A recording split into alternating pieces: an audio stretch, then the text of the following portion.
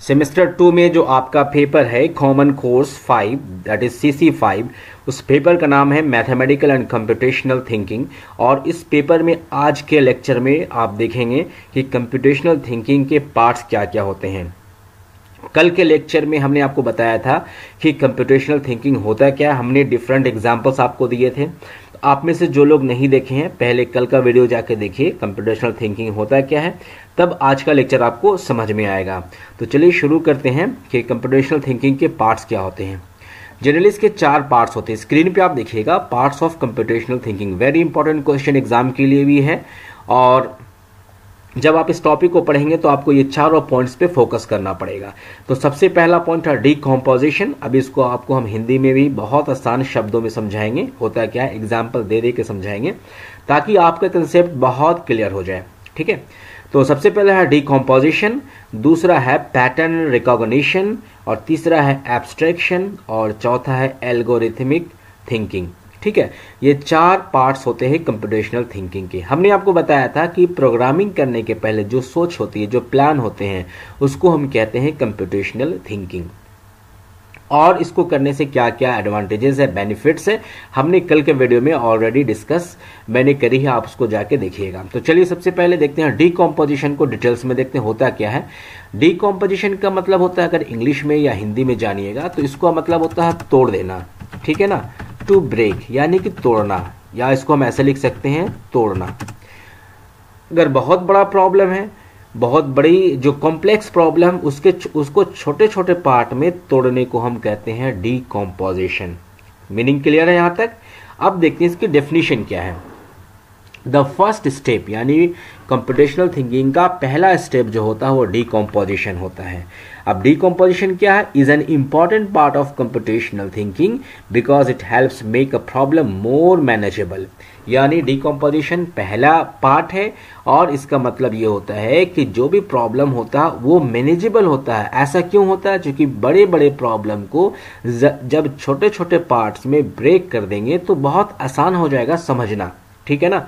एक बहुत बड़ा प्रॉब्लम है बहुत बड़ा टास्क है। उस टास्क को काम को छोटे छोटे पार्ट में बांट देने के बाद समझना आसान हो जाता है। तो डीकॉम्पोजिशन उसी को कहते हैं। उसके बाद देखें it also helps problem solvers to better define and understand the problem यानी ये जो प्रॉब्लम सॉल्व करने वाले होते हैं जिसको हम कहते हैं प्रॉब्लम सॉल्वर्स यानी जो समस्याओं का हल कर, कर करते हैं उनके लिए ये समझना इस आ, समस्या को समझना यानी प्रॉब्लम को समझना या प्रॉब्लम को डिफाइन करना बहुत आसान हो जाता है डीकम्पोजिशन के थ्रू ठीक है? आगे देखिए decomposition is the process of breaking down a problem और चैलेंजेस यानी कोई प्रॉब्लम है कोई टास्क है कोई चैलेंज है उसको तोड़ देना उस प्रक्रिया को कहते हैं डीकम्पोजिशन ठीक है? और किसमें तोड़ना? इंटू स्मॉल मैनेजेबल पार्ट्स इतनी स्मॉल पार्ट में तोड़ना ताकि वो आसानी से मैनेज हो जाए, समझ में आ जाए। जब तक प्रॉब्लम को डिफाइन नहीं करेंगे प्रॉब्लम को नहीं समझेंगे, उसकी सॉल्यूशन नहीं मिलने वाली है। ठीक है? जब भी आप देखिए, आपने मैथ्स वगैरह बनाया होगा तो मैथ्स अगर लंबा बनता है तो आप equation one equation two equation three करते हैं तो आपको समझ में आता है कि ये इक्वेशन ये है, इससे ये सॉल्यूशन मिला इक्वेशन टू से ये मिला। तो डेफिनेटली आपको अब समझ में आ गया होगा कि प्रॉब्लम को छोटे छोटे पार्ट में क्यों हम ब्रेक करते हैं। आई होप कि डीकम्पोजिशन समझ में आ गया होगा। ठीक है? एक डायग्राम से समझिए कि ये आपका कंप्यूटेशनल थिंकिंग है। और ये इसके चार पार्ट्स है। डीकॉम्पोजिशन इसमें डायग्राम में देखिए, एक बड़ा प्रॉब्लम को छोटे छोटे पार्ट में डिवाइड किया गया देन एब्स्ट्रैक्शन है देन पैटर्न रिकॉग्निशन है एंड एल्गोरिदम एल्गोरिदम्स है। ये चार इसके पार्ट्स है। एग्ज़ाम में पूछा जाएगा what are the parts of computational thinking तो आप इसको लिखेंगे और डिफाइन भी करेंगे। यहाँ पर आप इस वीडियो के ज़रिए से, इस वीडियो के माध्यम से आप समझने की कोशिश कीजिए चूँकि मैं आपके ही लैंग्वेज में बहुत आसान शब्दों में समझा रहा हूँ। ठीक है? चलिए अब दूसरा देखते हैं क्या है। पहला तो हमारा हो गया डिकम्पोजिशन दूसरा है पैटर्न रिकॉग्निशन यानी पैटर्न की पहचान। रिकॉग्निशन का मतलब होता है पहचान। इसको पहले इंग्लिश में देखते हैं, फिर हिंदी में भी देखेंगे। पैटर्न रिकॉग्निशन क्या कहलाता है? इसको हम डेटा एंड इंफॉर्मेशन विजुअलाइजेशन भी कहते हैं। यानी जो इंफॉर्मेशन या डेटा देखा जाने, देखा जाए यानी पैटर्न एक पैटर्न है, दूसरा पैटर्न उसको मैच करना रिकॉग्नाइज करना, पहचानना, उसको हम कहते हैं पैटर्न रिकॉग्निशन अगला स्टेप में देखिए pattern recognition involve shift shifting through information to find similar problems next this is the process of identifying patterns और connections between different parts of the bigger problem यानी प्रॉब्लम जो है, उसके बीच में क्या कनेक्शंस है, क्या पैटर्न्स है, इसके थ्रू हम पहचानते हैं. अभी मैं इसको हिंदी में भी समझाऊँगा तो आपको समझ में आ जाएगा. देखें अब यहाँ क्या है. पैटर्न पहचान मशीन लर्निंग एल्गोरिदम यहाँ से देखें पैटर्न पहचान मशीन लर्निंग एल्गोरिदम का उपयोग करके पैटर्न को पहचानने की प्रक्रिया है। यानी पैटर्न क्या है? अगर कोई एक पैटर्न दिया रहे आ, कोई सिंबल दिया रहे कोई ड्राइंग रहे और उसको पहचान के दूसरा हो बहु उसको उसके जैसा करना तो एक तरह का पैटर्न पहचान कहलाता है। ठीक है? उसके बाद देखें यहाँ पे एग्ज़ाम्पल देख लेते हैं यहाँ पे, जैसे कपड़ों का रंग, भाषण पैटर्न आदि।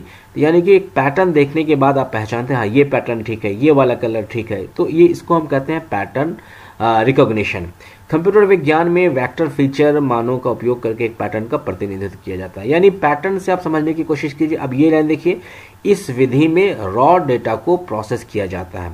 रॉ डेटा का मतलब अभी डेटा का डेटा के ऊपर कैलकुलेशन नहीं किया गया है डेटा का मैनिपुलेशन नहीं किया गया मतलब रफ डेटा है, उसको हम रॉ डेटा करें। और इस डेटा को ऐसे फॉर्मेट में बदल दिया जाता है जो मशीन के लिए उपयोगी साबित होता है। ठीक है? रॉ डेटा को समझ में तो मशीन नहीं आ रहा, लेकिन रॉ डेटा को प्रोसेस करके इस फॉर्मेट में बदल देना ताकि मशीन जो है, यानी कंप्यूटर है या दूसरे मशीन है, उसको समझ ले और उसके लिए उपयोगी साबित हो। यह विधि रॉ डेटा को इनपुट के रूप में लेती है और उसे किसी विशेष प्रकार की कैटेगरी में विभाजित कर देती है, जो एक पैटर्न के रूप में होता है। यानी कोई ना कोई एक पैटर्न बना देना, उसको हम कहते हैं पैटर्न रिकॉग्निशन ये डेफिनेशन आप याद कर लीजिएगा। अभी इसको और देखते हैं डिटेल्स में क्या क्या आता है। नेक्स्ट पहले समझ लेते हैं एब्स्ट्रैक्शन क्या होता है। What do mean by abstraction abstraction actually जो दिखता है, जो रियल में है, वो और एक जो नहीं दिखता है, जो बैकग्राउंड में है तो दोनों में से जब हम कंप्यूटेशनल थिंकिंग करेंगे तो हम कैसे इसको अप्लाई करेंगे? आप देखें, इसका मीनिंग दूसरा ये भी इसको जनरलाइजेशन भी कहते हैं। और साथ ही यहाँ देखें, यहाँ पे abstraction requires computational thinkers to focus only on the most important information चले, छोड़े। डेफिनेशन आप याद कर लें, लेकिन मैं आपको आपके शब्दों में समझा रहा हूँ एब्स्ट्रक्शन होता क्या है। एब्स्ट्रक्शन का मतलब होता है जो चीज़ें नेसेसरी चीज़ें होती हैं, जो ज़रूरी चीज़ें होती हैं, ज़रूरी चीज़ें उसको लिया जाता है और जो दिखाने की चीज़ें नहीं हैं, जिसको दिखाना डिस्प्ले करना ज़रूरी नहीं है, उसको इग्नोर कर दिया जाता है। फॉर एग्ज़ाम्पल एग्ज़ाम्पल देखें, जैसे आप अभी इसको देख रहे हैं आप मोबाइल पे हमारा वीडियो देख रहे हैं तो वीडियो में आपके स्क्रीन पे जो चीज़ें दिख रही, वो ज़रूरी चीज़ है। लेकिन जो स्क्रीन को डिस्प्ले कराने में हेल्प कर रहा मोबाइल के अंदर सारी मशीन लगी है तो वो सारे मशीन को, सारे मदरबोर्ड को दिखाना ज़रूरी नहीं है। इसलिए वो सबको पीछे कर दिया गया है बैकग्राउंड में कर दिया गया है। नहीं समझ में आया? आप देखिए, अपने रूम के चारों तरफ़ देखिए, आपके रूम में स्विच बोर्ड लगा हुआ होगा। जहाँ से आप स्विच से फ़ैन ऑन करेंगे लाइट ऑन करेंगे, या स्विच से और कुछ ऑन करते हैं तो अब देखिए, आपको क्या चाहिए? स्विच से आपको लाइट चाहिए आउटपुट चाहिए। स्विच से आपको फ़ैन चाहिए फ़ैन से हवा चाहिए। बट फ़ैन और स्विच के बीच में या लाइट बल्ब और स्विच के बीच में जो कनेक्शन वायर है, वो दीवार के अंदर है। बात समझ में आ रही है? यानी अननेसेसरी चीज़ें को हम हम जो है, वो बाहर नहीं ज़ाहिर करेंगे। जो ज़रूरत है उसको लेंगे, यानी जो आउटपुट है, उसको हम लेंगे और अननेसेसरी डिटेल्स को हम जो है, उसको छुपा देंगे। बात समझ में आ गई? या और भी आप कहीं पे देखें, आप जो प्लम्बिंग का काम होता है वहाँ पे देखें, जो पाइप वगैरह होता है दीवार के पीछे कर दिया जाता है क्योंकि वो ज़रूरी है बट उसको डिस्प्ले करना ज़रूरी नहीं होता है। तो सेम चीज़ें यहाँ है, या जो चीज़ें ज़रूरी होती हैं, उसको हम शो करेंगे, बाकी जो ज़रूरी शो करने के लिए नहीं है, उसको हम हाइड कर देंगे। दैट इज़ कॉल्ड एब्स्ट्रैक्शन ठीक है? नहीं समझ में आता तो फिर से हमें कमेंट बॉक्स में कमेंट कीजिएगा। ताकि हम आपको फिर और इजी एग्ज़ाम्पल देकर समझाने की कोशिश करेंगे। और साथ ही साथ आप अगर नए हैं चैनल में हमारे तो सब्सक्राइब कीजिएगा। अच्छे बच्चे की तरह, अच्छे स्टूडेंट की तरह आप सब्सक्राइब बटन जो आपको दिख रहा है उसको आप सब्सक्राइब कीजिए ताकि आपको आने वाला वीडियो मिलता रहे और आप भी खुश रहें हमारे वीडियो से और हम भी आपको वीडियो देते रहें। नेक्स्ट स्टेप देखते हैं क्या है लास्ट है शायद। हाँ एल्गोरिदम एल्गोरिदम थिंकिंग ये तो मैंने आपको बताया था कि एल्गोरिदम क्या होता है स्टेप बाय स्टेप सॉल्यूशन को। यानी अब आपने सबसे पहला देखा, आपने प्रॉब्लम को समझ लिया। प्रॉब्लम क्या है? प्रॉब्लम को पार्ट पार्ट कर दिया गया दैट इज़ डिकम्पोजिशन उसके बाद प्रॉब्लम को समझ लिया गया पैटर्न रिकॉग्निशन के थ्रू उसकी समस्या का उसको समझ के हमने मैच कर लिया कि हाँ ये प्रॉब्लम है। उसके बाद हमने एब्स्ट्रैक्शन के थ्रू एब्स्ट्रैक्शन के थ्रू हमने क्या किया?